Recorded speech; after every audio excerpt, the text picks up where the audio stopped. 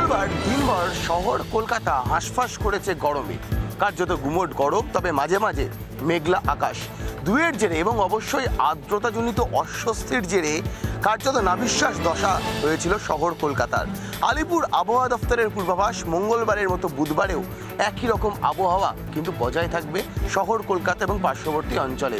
সারাদিন মূলত পরিষ্কার আকাশ এবং একই সঙ্গে আর্দ্রতাজনিত যে অস্বস্তি, সেই অস্বস্তি যেমন থাকবে, তবে মাঝে মাঝে কিছু ক্ষেত্রে স্থানীয়ভাবে কয়েক পশলা বৃষ্টিপাত হতে পারে, এমনটাই পূর্বাভাস আলিপুর আবহাওয়া দপ্তরের সর্বোচ্চ তাপমাত্রা তেত্রিশ ডিগ্রি এবং সর্বনিম্ন তাপমাত্রা আঠাশ ডিগ্রি সেলসিয়াসের আশেপাশে ঘোরাফেরা করতে পারে, এমনটাই পূর্বাভাস দিচ্ছে হাওয়া অফিস এবং সেই জায়গা থেকে দাঁড়িয়ে শহরবাসী যেভাবে আর্দ্রতাজনিত অস্বস্তির জেরে কার্যত নাজেহাল হচ্ছেন, সেই অস্বস্তি থেকে কখন বা কীভাবে মুক্তি পাবেন তার উত্তরই কিন্তু খুঁজছেন প্রত্যেকে। বিরোধী রাজ ঘোষালের সঙ্গে ভাস্কর বসু রিপাবলিক বাংলা।